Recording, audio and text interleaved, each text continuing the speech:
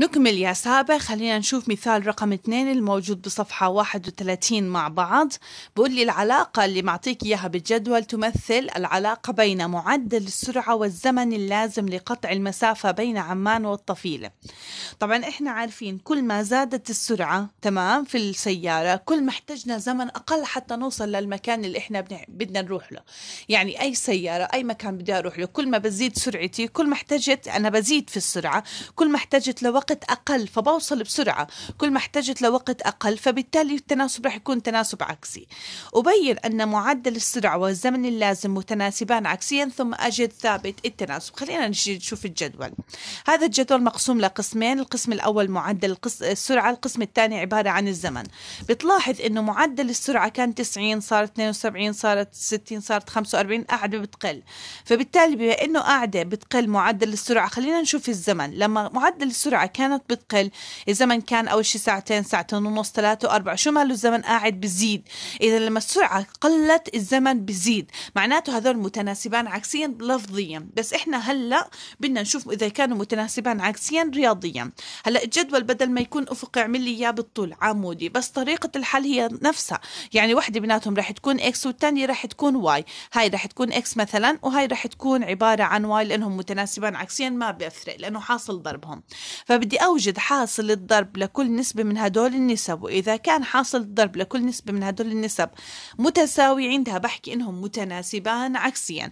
إذا هاي عبارة مثلا فرضها الخانة الأولى X والخانة الثانية عبارة عن Y في كل نسبة رح أضرب إكس في واي إذا عبارة عن إكس ضرب واي يلا. نيجي ننقل النسبة الأولى اللي هي عبارة عن 2 ضرب 90 أو 90 ضرب 2 2 ضرب 90 واللي هي عبارة عن يا سابع 180 ممتازين.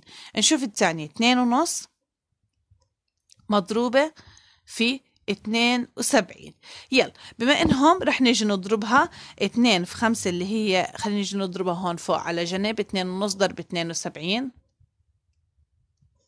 ننسى الفاصلة يعني كأنها بضربها ب 25 خمسة باثنين عشرة خمسة بسبعة خمسة وثلاثين واحد ستة وثلاثين زائد صفر. اثنين في اثنين أربعة اثنين في سبعة اللي هي عبارة عن أربعة عشر. إذا رحت صفر ستة وأربعة عشرة صفر باليد واحد ثلاثة وأربعة سبعة وواحد ثمانية والواحد بينزل. بس لأنه هون في فاصلة إجت بعد منزلة واحدة فبحط الفاصلة بعد منزلة واحدة مية وثمانين فاصلة صفر اللي هي عبارة عن مية وثمانين. إذا كم طالع طلع نتيجة الضرب؟ برضو عبارة عن مية وثمانين. نشوف الثالثة ثلاثة ضرب ستين بنزل الصفر وبضرب ستة في ثلاثة اللي هي عبارة عن 18 إذا عبارة عن مية وثمانين.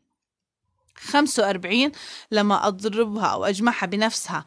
أربع مرات 45 و 45 90 وكمان 45 و 45 هي 90 90 90 هي 180 إذا 45 ضرب 480 بتلاحظ إنه حاصل ضرب X Y بكلياتهم شو مالهم متساوي.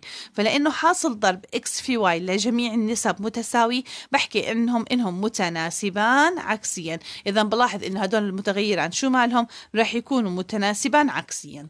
طب نيجي نوجد ثابت التناسب. K هي عبارة عن X ضرب Y لأي نسبة من هدول النسب 2 مثلا 2 ضرب 90 اللي هي عبارة عن 180 إذا K تساوي 180 فيش داعي أرجع على الجدول وأضرب لو أخذت الرقم بما أنهم متساويين معناته هاي القيمة المتساوية هي نفسها K ثابت التناسب. معناته K هي عبارة عن 180 طيب يا miss نشوف رقم اثنين. بحكي لي اكتب معادلة العلاقة. معادلة العلاقة بس بده معادلة التناسب العكسي. Y تساوي؟ ما بدي أطلع قيمة مجهولة لأنه ما في قيمة مجهولة. K على X واذا هيك بنكون أنهينا مثال رقم اثنين.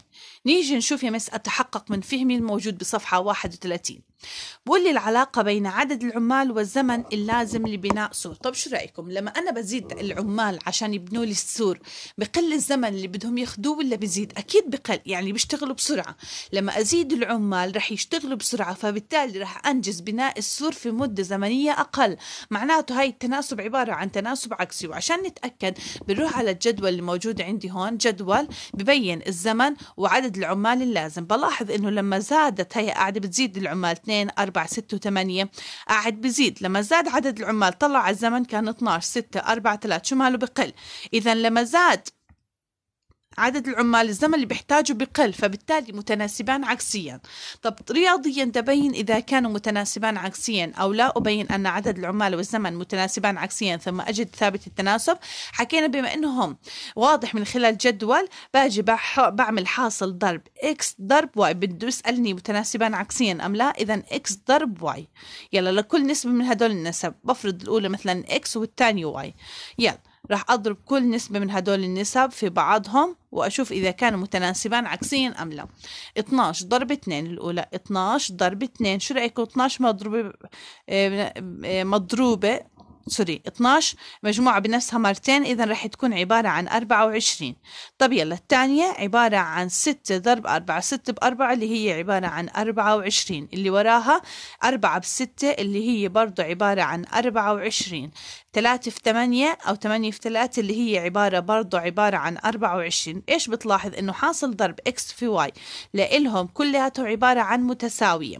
معناته هذول المتغيران شو مالهم؟ راح يكونوا هذول المتغيران متناسبان عكسيا. إذا هذول المتغيران متناسبان عكسيا. كي ثابت التناسب هي أي قيمة من هدول القيم؟ بما إنهم ثابتة لإلهم كلياتهم معناته كي هي عبارة عن 24 لو أخذت أي قيمة من هدول القيم 24 لو إجيت أتأكد وضربت x في y ثابت التناسب تطلع كمان 24 بدي أكتب معادلة بس التناسب الطردي y تساوي k على x. بوجود ال 24 أو بعدم وجود لو بدي أحطها y تساوي يعني 24 على x وأنا هيك كتبت معادلة العلاقة. وهيك بكون يا مس انتهى الجزء الأول من درس التناسب العكسي. خلينا نيجي نحدد مع بعض الواجب بيتي زي ما أنتم شايفين. السؤال صحيح زي ما بعيد الأسئلة كتيرة بس بسيطة وسهلة وسريعة زي ما أنا بحل. السؤال الأول والثاني والثالث والرابع وال16 من صفحة 33 و 34 الموجود بكتاب الطالب. زائد السؤال الأول والثاني من صفحة 13 الموجود في كتاب التمارين ويعطيكم ألف عافية.